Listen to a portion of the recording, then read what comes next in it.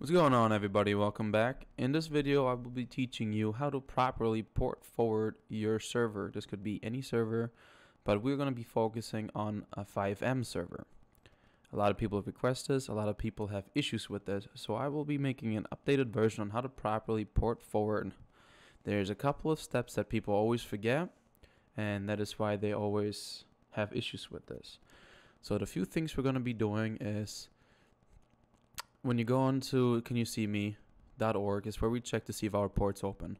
A lot of you always have issues where your port doesn't open up. That's perfectly fine. I will show you how to properly do it. The first thing we'll be doing is in our router is port forwarding it. To do this, we have to find our IP. If you are unsure how to get to your port forwarding section in your router, Go to this link, it will be in the description, and just simply select your router. Let's say we have a Comstar. Close out of this, and then select your model. It will step by step walk you through how to port forward with your router. So again, go to your description, go to that link, and just simply select what router you have. If it's not on here, message them, or try to Google how to port forward with your specific router. But every router should be on here. So let's go back to ours. We have to find our IP. So what we're going to do is go our search bar and type in cmd. Bring our command prompt. Now you're going to type in IP config. This command will be in the description for you to copy and paste into here. Hit enter. It's going to bring up a bunch of different ones. Mine will be blurred out, but the one you're looking for is your IPv4 address. That's the one you, you will be using. So go ahead and highlight that and copy it. I said mine will be blurred out, but that's the one you will need. So now we're gonna close this out. We don't need anymore. We're gonna go ahead and open up our port forwarding again, and we're gonna add some things. Leave the top alone for me. All you need to do is your services. We're gonna call this FiveM. Our port range, we're just gonna type in 3120. That's what the default port is for FiveM. You type in that IP address we just used and then the port once more and hit and then you're gonna select TCP and hit confirm. We're gonna do this one more time. FiveM our port is 120 3120 our IP our port one more time and then we're gonna select UDP and hit confirm and then go ahead and apply. That is how you port forward with my specific router from Spectrum Again, if you have any issues, just go to open port. They will walk you through how to do it. My IP will be blurred out, but that's how you port forward with your router. Nice and simple. So we're going to head and close this out. Now what we need to do is port forward with our Windows Defender. I recommend not having any type of aftermarket virus scan program because it will be a pain. You can allow th these things through firewalls, but there's always issues. So if you have any type of virus program, delete it and just use Windows Defender if you plan on doing this. If you do have a virus program you wish to keep, you're going to have a hell of a time trying to figure out how to allow the connection. Sometimes it's easy, sometimes it's a pain, but it always seems to give issues. So if you do have a virus program, just delete it. Use Windows Defender. It works great and you never have issues. So what you need to do is go ahead and open up your control panel. So to get to your control panel is rather easy. Just right click on here and go to, let's just go to apps and features, whatever. Go to home and we're going to be here. So what we're going to click on here is update and security and then Windows security. Open Windows security firewall and network protection. And then fire advanced settings. Yes. That should pop up this window here. This is the one you're looking for. Okay. We went through a couple different things there. So just go ahead and go back and watch it slowly. Make sure you click the same things. We need to go to inbound rules and outbound rules. This is where we're allowing our port through. So go to inbound rules. Hit new rule. Make sure you select port next, TCP, type in 3120, next, allow the connection, select all three, next, And we're going to name this FiveM UDP, I think is the one we used. Let me go back and double check. TCP.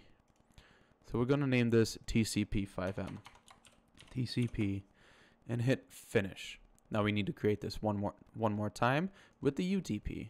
So port next UDP, type in your port next, allow the connection, all three of them, and now we're going to type in FiveM UDP. And this is how you port forward any port. So if you have a different port you need to open up, you simply follow the same exact steps. now you go to outbound rules and do the same exact thing one more time. Port, next, TCP, our port, next, allow the connection, next, next, FiveM, TCP. And you can name this anything you want. I just name this that way you know what it is.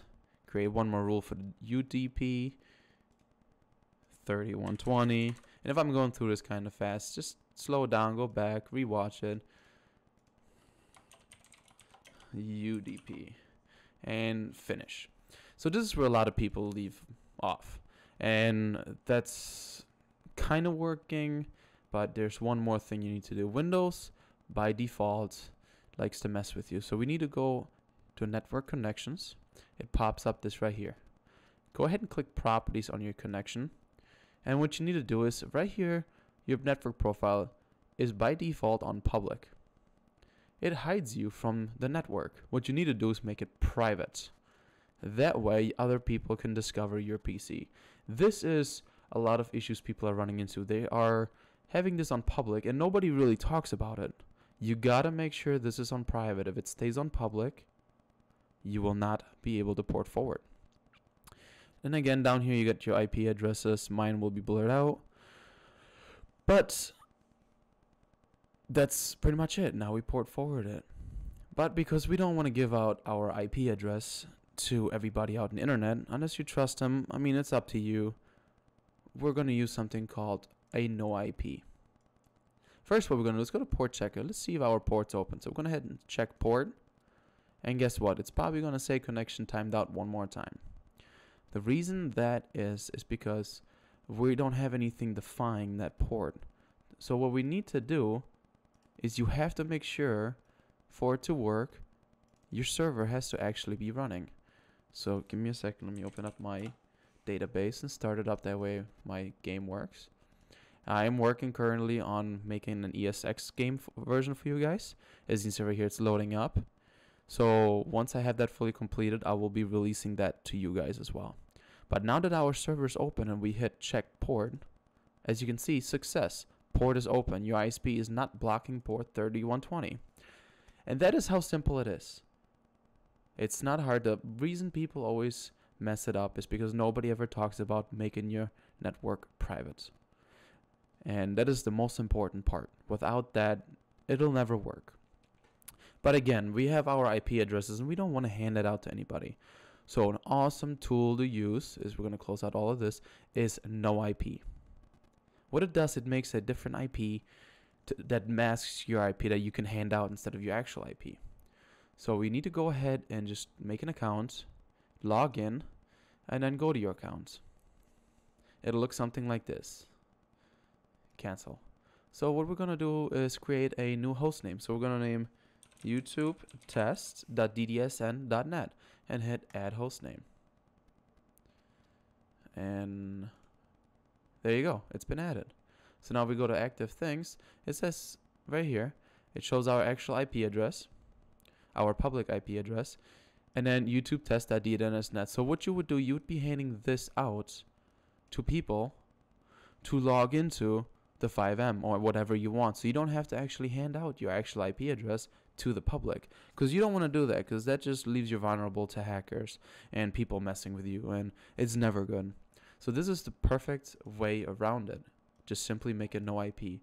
But for this to actually work as well, we have to download no IP. So go back to their website and go up to the top and hit download. Download now and then just simply install it really quick. We're going to walk through. So I agree, install, I'm going to close this back out. And we're gonna go ahead and finish this. So now all you need to do is log in. Again, mine will be blurred out. And is refresh now. Oh, save. There you go. Mustn't have clicked it. And now it says right here, we're connected with our IP address being that. So that YouTube test.ddns.net. That is now the IP address that you can hand out to people to connect to your server. And that's it, folks. That is how easy it is to port forward with Windows 10. If you have any questions or run into any issues, make sure you go ahead and add me on Discord and I'll try to help you out as best as I can. But until next time, see ya.